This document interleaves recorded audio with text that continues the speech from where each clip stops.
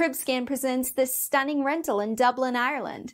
Very bright south-facing second floor apartment.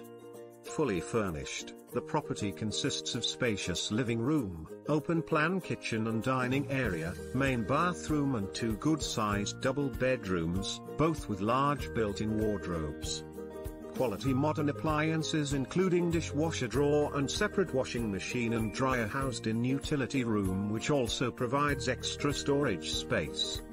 The apartment complex is very well managed and there is underground parking for more than two cars along with a secure bike shed. The location is well served by the 70, 38, 39 and 37 buses. There is a large Tesco, Spar, gym, with pool, pharmacy and library all within 5 minutes walk.